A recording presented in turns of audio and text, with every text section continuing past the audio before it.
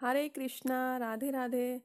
मैं जो किशोरी जी लेकर आई थी जिनका मैंने परमानेंट मेकअप आपको करके दिखाया था आज इस वीडियो में मैंने उनका जन्म कैसे किया वही इस वीडियो के माध्यम से आपको दिखाऊँगी।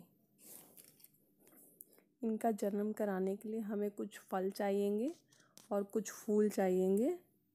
अब आ, मैंने एक पतीला लिया है उस पतीले के अंदर मैंने पहले फल रखे हैं और फल रखने के बाद में फिर कुछ फूल रखे हैं। अब फूलों के बीच में मैं जो अपने किशोरी जी का विग्रह लेकर आई हूँ। आप देख रहे हैं, मैंने फूल रख दिए हैं। अब जो मैं अपनी किशोरी जी का विग्रह लेकर आई हूँ, अब मैं वो इसमें रखूँगी और फिर ऊपर से हम फिर से फूल से उन्हें ढक देंगे। और ये मैंने रात में इन्हें करके रख दिया था, जिससे कि हम सुबह इनका जन्म कराएँगे। तो ये मैंने रात में करके रख दिया ये ज़रूरी नहीं है कि आप रात में ही करके रखो, आप दो घंटे पहले भी ऐसा करके रख सकते हैं। तो ये मैंने रात में करके रख दिया है। अब अगले दिन हम सुबह इनका जन्म करेंगे। अब हम इनका पंचामृत से स्नान कराएँगे। तो पंचामृत के लिए हमें दूध, दही, घी, शहद और गंगा जल और ये लोटे में मैंने सादा पानी लिया है, इसमें थोड़ा गंगा जल मिक्स है। अब ये हम जन्म करा दिया। जय जय श्री राधे। अब स्नान कराएँगे। ये शहद से मैं पहले स्नान करा रही हूँ। पहले मैंने शहद डाला है। फिर अब ये हम दूध से स्नान कराएँगे और हम अपने किशोरी जी को अच्छे से दूध से पहले मल मल के खूब स्नान कराया है। फिर मैं दही डालूँगी। अब मैंने दही से स्नान करा रही हूँ उन्हें।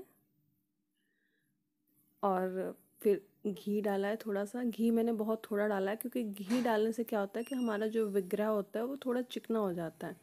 तो इसलिए घी का उपयोग आप कम करें। आप दूध और दही का उपयोग ज़्यादा करें जिससे कि हमारे किशोरी जी का चेहरा एकदम निखर कर आए और बहुत ही सुंदर लगे।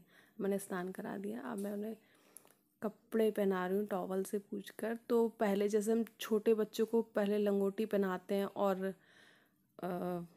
झबला पहनाते हैं तो पहले मैंने उन्हें झबला पहनाया फिर उन्हें लंगोटी पहनाई अब मैं उन्हें कपड़े पहनाऊँगी। नॉर्मली भी मैं ये अपने लड्डू गोपाल के साथ भी करती हूँ। मैं आ, केवल उन्हें ड्रेस नहीं पहनाती हूँ मैं उन्हें नीचे भी कपड़े पहनाती हूँ लंगोटी और इनर पहनाती हूँ। उसके बाद फिर मैं उन्हें गर्म कपड़े पहनाती हूँ। ऐसे ही मैंने अपनी किशोरी जी को भी कपड़े पहनाए हैं। ये देखिए, हमारी किशोरी जी तैयार हो गई हैं।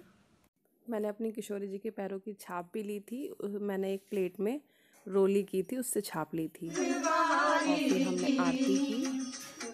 और आरती करने